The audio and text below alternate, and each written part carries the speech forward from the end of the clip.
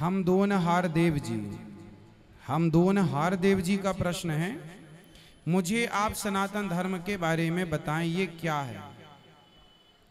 सनातन धर्म, सनातन का मतलब होता है प्राचीन, पुराना। हमारा धर्म है सत्य। सत्य बोलना, दया करना, दया धर्म का मूल है। धर्म न दूसर सत्य समाना। परोपकाराय सताम विभूतया, परहित सरस धर्म नहीं भाई। रख दो बेटा। परहित सबसे बड़ा धर्म है, सही सेवा सबसे बड़ा धर्म है, दया सबसे बड़ा धर्म है, सत्य सबसे बड़ा धर्म है, ये धर्म है। और इसी धर्म पर आपको रहना चाहिए, सेवा का, सत्य का पालन करना चाहिए। है ना? चेष्टा साहू जी, ये YouTube पर ऑनलाइन सवाल कर रहे हैं आप। श्रीमान जो आप YouTube पर जुड़ रहे हैं, आप भी अपना सवाल लिख के दे सकते हैं। आपके प्रश्न का उत्तर भी दिया जाएगा। यदि समय रहा तो। श्रीमन नारायण गुरु जी गुरु जी अगरबत्ती में बाँस होता है तो उसे इस्तेमाल करना चाहिए कि नहीं? नहीं करना चाहिए। धूप बत्ती जलाना चाहिए, अगरबत्ती नहीं। दीपिका श्रीवास्तव जी, साकेत धाम और गोलोक धाम क्यों बना? जबकि अंत में तो सबको बैकुंठ। भगवान श्रीमन नारायण के पास जाना है। भाई, गोलोक धाम व्यवस्था है। है ना? जैसे नीचे रसोई चल रही है, रसोई की व्यवस्था अलग है, ये प्रश्नोत्तरी हो रही है प्रश्नोत्तरी की व्यवस्था अलग है। है ना? माताएँ रह रही हैं, माताओं के रहने का परिसर अलग है। उसी तरह जहाँ भगवान श्री कृष्ण रूप में रहते हैं, वो गौलोक धाम है। जहाँ नारायण रूप में रहते हैं, वो वैकुंठ है। जहाँ राम रूप में रहते हैं, वो साकेत है।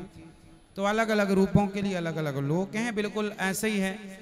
पड़ोस पड़ोस में आप वैकुंठ में हैं तो बैकुंठ ही साकेत साकेत कोई बैकुंठ से बाहर नहीं है। गौलोक कोई बैकुंठ से बाहर नहीं, बैकुंठ के अंदर ही ये सब मोहल्ले हैं। फेस वन फेस टू ये समझो। अलग अलग सोसाइटी है ना मैया? जैसे अब हम बैकुंठ गए तो हम साकेत के बगीचे में भी जा सकते हैं आम आम खाने के लिए। गौलोक धाम के पार्क में भी टहल सकते हैं। क्यों मैया? ऐसा है। कोई अलग अलग नहीं है। शिखा पांडे जी, राधे राधे गुरु जी क्या हर एक ब्रह्मांड में भगवान का जन्म होता है? जैसे पृथ्वी पर भगवान जन्म लेते हैं हाँ ब्रह्मांड निकाया, निर्मित माया, रोम रोम प्रतिवेद कहें। अनेक ब्रह्मांड हैं और भगवान हर ब्रह्मांड में अलग अलग लीला करते हैं। राधिका दुबे जी श्रीमन नारायण गुरु जी सूतक कितने प्रकार का और कितने दिनों का होता है? सूतक दो प्रकार का होता है, एक जन्मने का, एक मरने का। सबका अलग अलग रीति रिवाज हो। किसी के घर में दस दिन का सूतक माना जाता है, किसी के घर में आठ दिन का, किसी के घर में पाँच दिन का, किसी के घर में तीन दिन का। तो ये अलग अलग रीति रिवाज सबकी अलग अलग है, इसलिए एक नहीं कहा जा सकता। कोई जन्मने का सूतक कम दिनों का मानता है, कोई ज़्यादा दिन का मान कोई मरने का दस दिन का मानता है, कोई पाँच दिन का मानता है। तो ये लोक रीति है, जो लोक रीति है बाप दादों की उसे फॉलो करना चाहिए। इंद्रेश जी, राधे राधे गुरु जी क्या जनेऊ संस्कार सभी लोग धारण कर सकते हैं? हाँ ब्राह्मण, क्षत्रिय, वैश्य, शूद्र, चारों का यज्ञ पवित्र संस्कार होता है। मोहित शर्मा जी, राधे राधे गुरु जी हमने गया बनारस में गया बनारस में पिंडदान कर दिया। गया बनारस में नहीं है। गया बनारस से अलग है। है ना? अब इन्होंने कहा, हमने गया बनारस में। बनारस में पिंडदान किया है या गया में वो आप पहले कन्फर्म करिए।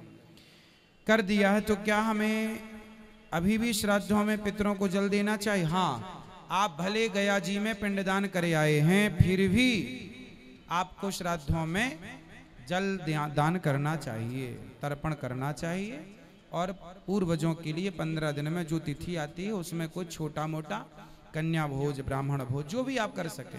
हर वर्ष कराते रहो ना साल में एक बार का है। चार छह कन्या खा ली, चार छह ब्राह्मण खा लिए तो क्या घट गया? पूर्वजों के नाम से कर लो। User DPG. श्रीमन नारायण गुरु जी मेरा प्रश्न यह है कि हमारे सनातन धर्म में संप्रदाय क्या है? और कितने संप्रदाय हैं? और सभी संप्रदायों में श्रेष्ठ संप्रदाय कौन सी है? सभी संप्रदाय श्रेष्ठ संप्रदाय छोटी कोई नहीं है। संप्रदाय जैसे हमारी श्री संप्रदाय है। श्री संप्रदाय है, निम्बार्क संप्रदाय है है ना? रामानंद संप्रदाय है। रामानुज, रामानंद।